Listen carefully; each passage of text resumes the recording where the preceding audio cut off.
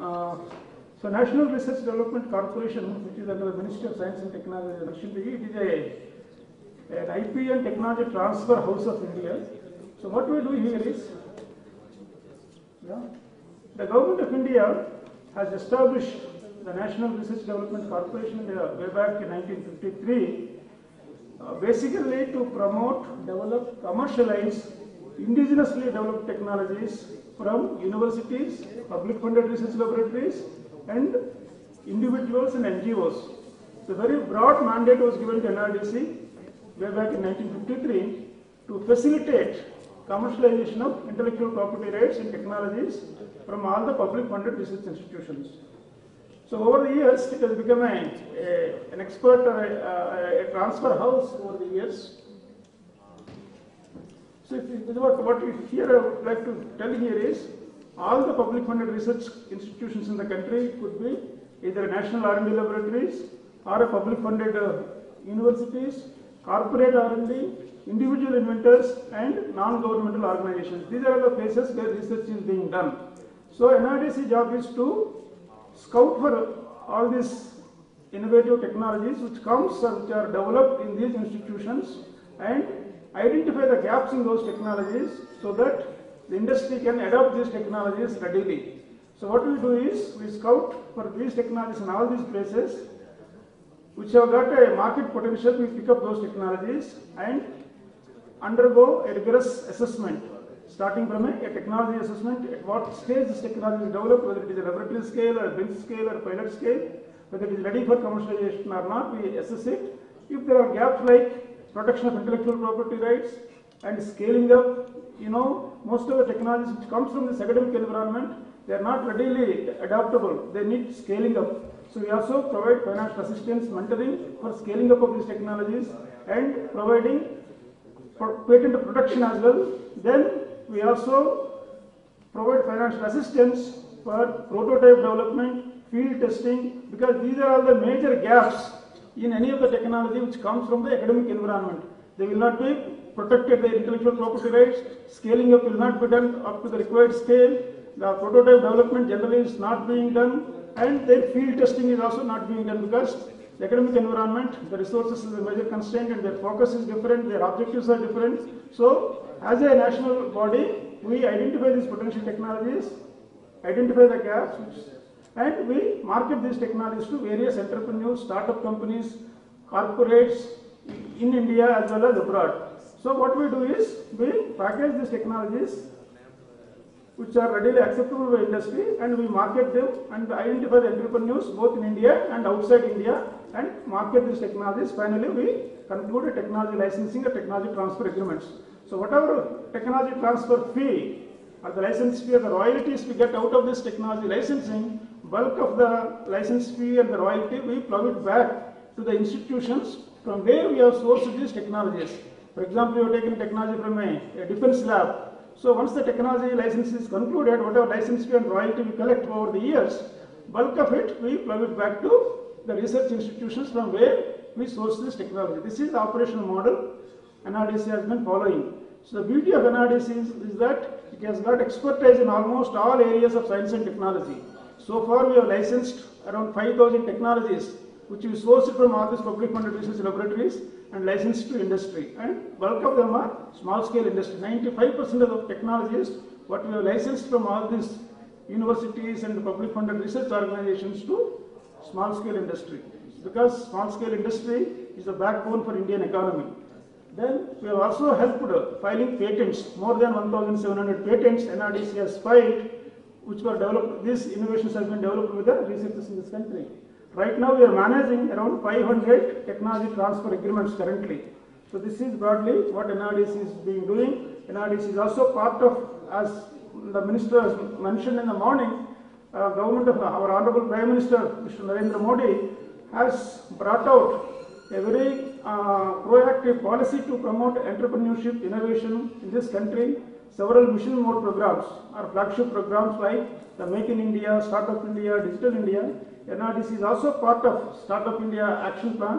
Whatever proposals Government of India is receiving under the Startup India Action Plan for seeking uh, recognition as well as for uh, tax benefits, NRDC is only appraising all these proposals for the innovation content. One of the condition government of India has put it in the Startup India benefits is that the startup should utilize a patented technology or there should be innovation in that.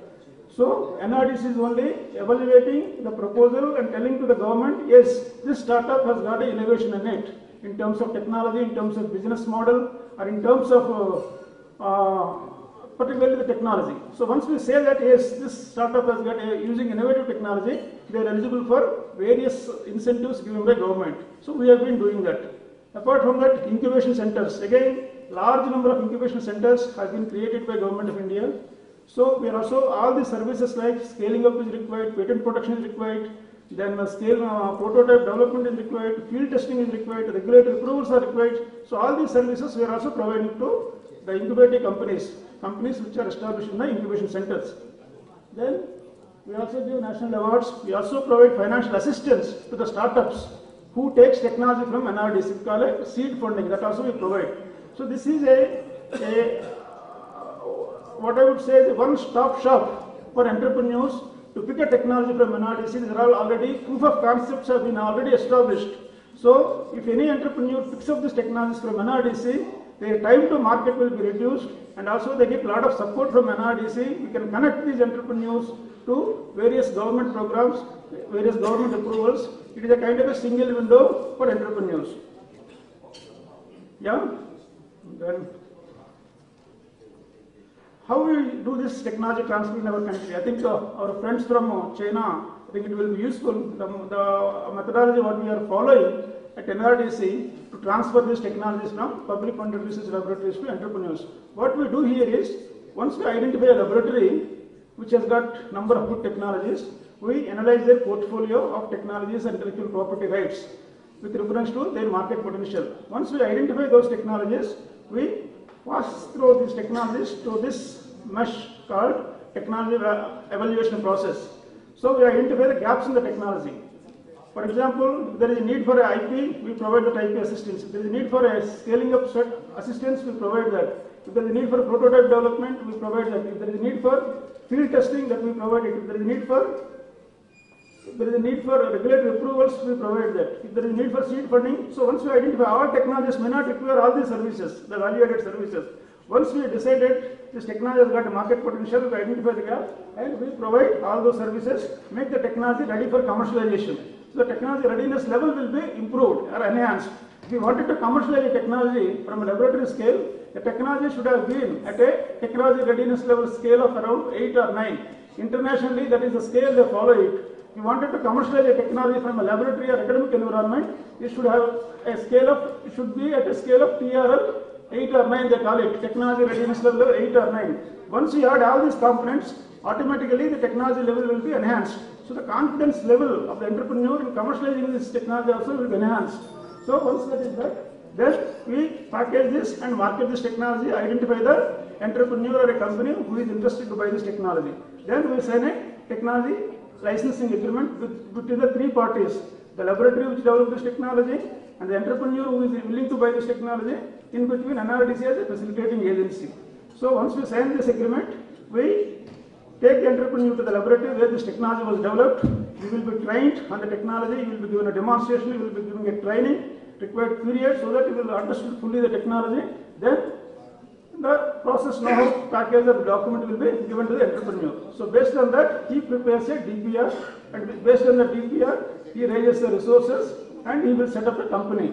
So again, when he sets up the company, NRDC and the laboratory which develop this technology, which we have licensed, all three of us again assist the entrepreneur in his commercial venture by setting up this venture. So once the technology is established again, we say that this technology is successfully transferred. Thereafter, the entrepreneur has to put in his best efforts to achieve a successful commercialization.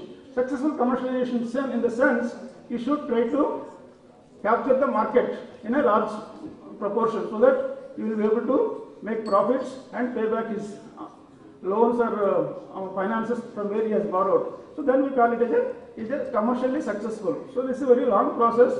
We handhold the technology receiver who takes technology from NRDC from initial stage to till he commercializes the technology successfully in the market. So that is the advantage you get if any entrepreneur takes the technology from NRDC. So this is a very unique model. Many developing countries are approaching to NRDC to take guidance, advice, consultancy for establishing, replicating such kind of models in their countries. We have been talking with several African countries to replicate this NRDC model in their countries. If you look at NRDC, uh, the uh, technologies licensed the NRDC across various union states of India, almost in all the 29 states of Union of India, NRDC has licensed technologies. Maharashtra seems to be the largest state where NRDC has licensed around more than 900 technologies, followed by Andhra Pradesh, Karnataka, Maharashtra, then uh, uh, uh, Delhi, and West Bengal. We have also licensed large number of technologies to outside India also. In more than 24 countries, NRDC has given its technologies and services. Most of the technologies we have given it in the African uh, continent as well as Southeast Asian countries. Then if you look at from where we got all these technologies, 5,000 technologies we have licensed, from where we got it. So bulk of the technologies have come from our CSIR system, the Council of Scientific and Industrial Research, which is again under our own ministry. We sourced around 44% of the technologies what we have licensed have come from CSIR labs and 29% of the technologies what you have commercialized have come from the DRDO labs, Defense Research and Development Organization. Then 12% of the technologies have come from ICAR, Indian Council of Agriculture Research, and 6% of the technologies have come from Indian Council of Medical Research, 7% from the universities, 2% have come from the PSUs. So in a way, we are covering almost entire country's uh, R&D outcomes. We are taking them and analyzing them, filling their gaps and commercializing it. And if you look at the sectors in which we are licensed technologies, bulk of them are in the engineering sector, followed by agriculture. I think I'm very happy to see some of the good presentations from Chinese uh, counterparts here. I think there are a lot of opportunities between the Indian entrepreneurs and Chinese entrepreneurs, particularly in the agriculture sector, because they have got many advanced technologies compared to us. I think through NRDC, we, can facilitate bringing Chinese technologies to India, and wherever there is a need for Indian technologies to Chinese entrepreneurs, NRDC can act as a very effective bridge in bringing these technologies to the marketplace. Then we also help filing patents. As I mentioned to you, around 1,700 patents we have filed so far at NRDC's cost. 63% of the patents what we have filed have come from the R&D institutions, 23% of the patents what we have filed are from individuals, and 14% of the patents what we have filed have come from universities. And as I told you, we also give national awards for encouraging the spirit of invention and innovativeness. So every year these awards are given. Uh, so far we have given more than 950 awards. Uh, these are some of the success stories I would like to put before you. Uh, NRDC has got thousands of success stories. As I told you, around 5,000 technologies we are licensed. Around 45 to 50 percent of the success stories of that we have with us. The important uh, technology what we are licensed, even till today the product is in the market, is called the infant baby food. You see, the babies, uh, the mother's milk is a, very insufficient, of course it is a common feature in many countries. So the babies need a milk which is equivalent to a mother's milk. So this technology was developed by one of our CSIR labs, CFTRI Mysore, and we licensed this technology and Dr. Kurian, who is the father of the white revolution in our country, he has taken this technology and established a huge establishment and this product is there in the country and it is also being exported. It's called Amul baby milk powder.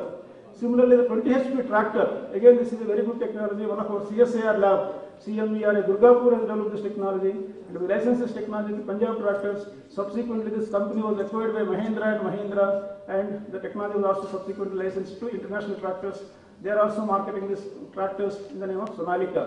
Similarly, the Indelible Link, all the countries in democratic countries in the world, they go for elections, particularly in India, when the people go for voting, we put a ink on their finger to identify you already voted, you cannot vote till the next election comes.